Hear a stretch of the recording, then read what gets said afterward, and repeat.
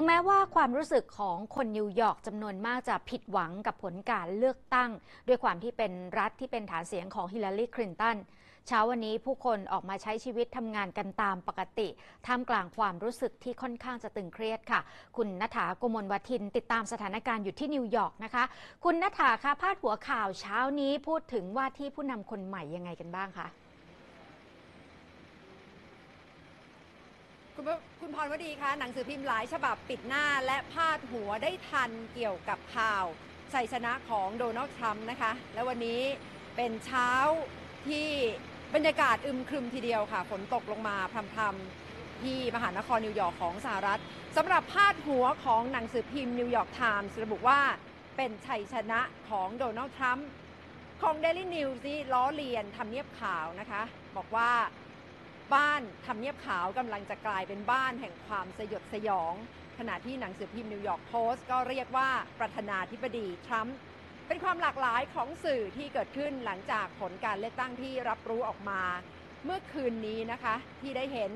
โดนัลด์ทรัมป์ออกมาประกาศชัยชนะเวลาประมาณก่อนจะตีสามดิฉันติดตามสถานการณ์อยู่ได้เห็นบรรยากาศที่แตกต่างหลากหลายค่ะ แต่ถึงแม้ว่าคนที่มหานครนิวยอร์กนี้จะผิดหวังเพียงใดในฐานะที่เมืองนี้เป็นฐานเสียงของฮิลลารีคลินตันในฐานะที่เคยเป็นอดีตวุฒิสมาชิก และเป็นเมืองที่มีความแตกต่างหลากหลาย เป็นเมืองของคนอพยพที่เดินทางเข้ามาจากหลากหลายประเทศ เพื่อมาสร้างงานสร้างโอกาสที่นี่ บอกว่ารู้สึกผิดหวังกันไม่น้อย แต่เช้าวันนี้ทุกคนก็ยังต้องเดินหน้าทำงานกันตามปกติรถแท็กซี่ให้บริการกันตลอดคืน ช่วงเช้าก็เริ่มทำงานกัน ผู้คนออกจากบ้านออกมาทำงานกันนะคะ แต่เชื่อว่าในใจก็ยังจะยังยังคงมีคำถามถึงผลการเลือกตั้งที่ออกมา เพราะว่าถึงแม้ดูจากเสียงตัวแทนอาจจะไม่คู่ขี้สูสี แต่ถ้าดูจากคะแนนนิยม ถือว่าห่างกันด้วยช่วงที่แคบมากนะคะ และตรงนี้อาจจะกำลังสะท้อนถึงรอยร้าว เรื่องความแตกแยก แตกต่างในเชิงลักษณะประชากรและความรู้สึกของผู้คนค่ะ ถ้าย้อนกลับไปช่วงกลางคืนเมื่อคืนนี้หลังจากที่รับทราบผลการเลือกตั้งดิฉันก็เดินสำรวจบริเวณ 2 แห่งนะคะ ก็คือไปประจำอยู่ที่ศูนย์ประชุมจาวิตส์ที่ตั้งของพรรคเดโมแครตของฮิลลารีคลินตันและมาสำรวจ บริเวณโรงแรมฮิลตัน ซึ่งเป็นสถานที่จัดงานเลี้ยงของพรรครีพับลิกันค่ะ ปรากฏว่าที่บริเวณพื้นที่ภายนอกโรงแรมฮิลตัน ได้เห็นการตะโกน ต่อว่ากันปะทะกันทางวาจา พร้อมๆกับการส่งเสียงว่าไม่ต้องการให้โดนัลด์ทรัมป์ขึ้นเป็นผู้นำของสหรัฐอเมริกาค่ะ หลังจากที่ได้เห็นกลุ่มผู้ประท้วงต่อต้าน ก็จะมีกลุ่มที่สนับสนุน โดนัลด์ทรัมป์เข้าไปต่อว่าแล้วถามว่าทำไมถึงไม่ยอมรับโดนัลด์ทรัมป์เป็นแบบนี้หลาย ๆ หลาย ๆ มุมนะคะ กระจายกันไปตามพื้นที่โดยรอบบริเวณนั้น ซึ่งก็เป็นอีกหนึ่งฉากที่เกิดขึ้น ปฏิกิริยาสะท้อนความรู้สึกของผู้คนที่เกิดขึ้นทันทีค่ะสำหรับผู้หญิงคนหนึ่งที่ดิฉันได้สัมภาษณ์เมื่อคืนนี้ว่าทำไมถึงตัดสินใจเข้าไปร่วมประท้วงพร้อมกับคนที่ตะโกน ต่อว่าโดนัลด์ทรัมป์ก็มีความเห็นของผู้หญิงคนนั้นออกมาด้วยนะคะ But yeah, I'm very disillusioned that this xenophobic, uh, misogynist,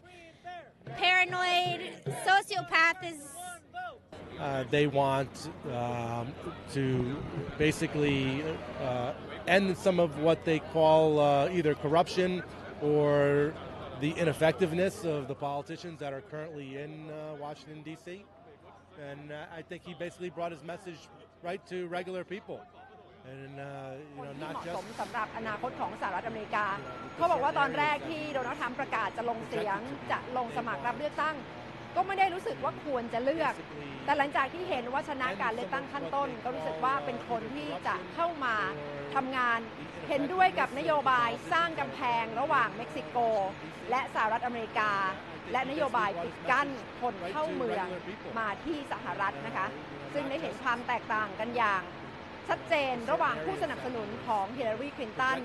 และของโดนัลด์ ทรัมป์ค่ะ ซึ่งก็ไม่แน่ใจนะคะว่าบรรยากาศของความแตกต่าง ความตึงเครียดที่เกิดขึ้นแบบนี้ จะยาวนานแค่ไหนทั้งที่มหานครนิวยอร์กและที่เมืองอื่น ๆ ในสหรัฐอเมริกาค่ะคุณพรวดีคะทียังไงบ้างคะหลังจากที่ผลการเลือกตั้งออกมาแบบนี้นะคะ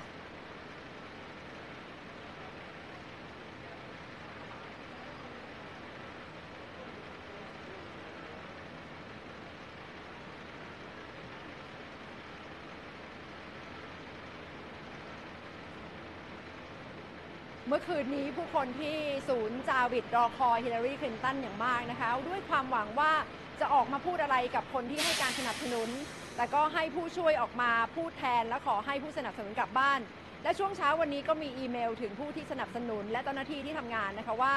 จะสื่อสารถึงสถานการณ์ที่เกิดขึ้นที่โรงแรมนิวยอร์กเกอร์ซึ่งไม่ห่างจากบริเวณจุดที่ดิฉันยืนรายงานอยู่นี่นะคะ ก็คงจะเป็นการประกาศว่า เกิดอะไรขึ้น และยอมรับกับชัยชนะของโดนัลด์ทรัมป์ตามที่ประธานาธิบดีคนใหม่ ก็คือโดนัลด์ทรัมป์ได้กล่าวไปแล้วนะคะว่าฮิลลารีคลินตันโทรศัพท์ไปแสดงความยินดีด้วยค่ะ คุณพรวดีคะ คุณนัทถาคะ แต่ว่าอารมณ์ของทั้งสองฝ่ายเนี่ยค่อนข้างจะตึงเครียดใส่กันค่อนข้างมาก ประเมินแล้วมีทีท่าว่าจะคลี่คลายลงไปได้บ้างไหมคะ ถือเป็นช่วงเวลาละเอียดอ่อนอย่างมากทีเดียวค่ะ คุณพรวดี เพราะว่าความรู้สึกของผู้คนยังถือว่าสดอยู่หลังจากผลการเลือกตั้ง มีคนชอบอย่างสุดโต่งและไม่ชอบอย่างสุดโต่งและมีคนบอกว่าอาจจะถึงขั้นออกมาประท้วงกันตามท้องถนน เพราะฉะนั้นขณะนี้เจ้าหน้าที่เองก็คงจะต้องเฝ้าระมัดระวัง และประชาชนเองก็คงจะต้องดูแลสภาพจิตใจกันไว้ก่อนนะคะ เพื่อที่จะไม่ให้ความรู้สึกแตกแยกหรือว่าร้าวลึก